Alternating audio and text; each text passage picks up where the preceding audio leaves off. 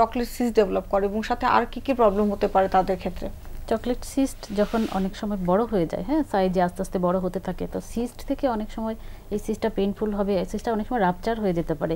এবং ইভেন এই পেশেন্টগুলোকে আমরা অনেক সময় অ্যাপসেস অ্যাপসেস নিয়ে আসি সিস্টটাতে ইনফেকশন হয়ে যেতে পারে পেলভিক অ্যাপসেসও পাই অনেক সময় এই পেশেন্টগুলোতে এবং লং টার্ম আনটিটেড আপনি যেটা বলছিলেন যে ক্যান্সার ডেভেলপ করতে পারে কিনা এই পেশেন্টগুলোতে সাধারণত খুব কম পেশেন্টেরই ক্যান্সার ডেভেলপ করতে পারে। হ্যাঁ, সেটার পার্সেন্টেজ খুব কম। তো এই জন্য আমরা বলব যে সব যাদের এন্ডোমেট্রোসিস থাকে তারা অবশ্যই ডক্টরের পরামর্শ নেবেন যাতে লং টার্ম সিকুয়েলি যে যে প্রবলেমগুলো হচ্ছে সেগুলোতে যারা আপনারা না ভোগেন।